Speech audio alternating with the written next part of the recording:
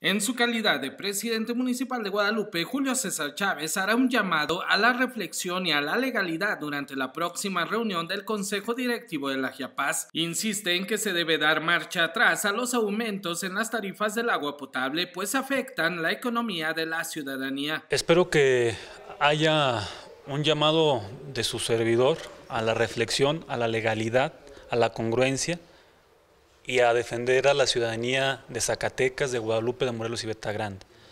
Y que quien hoy ha manifestado visos de traicionar al pueblo, se arrepienta, se corrija y rectifique en ese momento. El voto va a ser importante, más allá de todo lo que se ha dicho.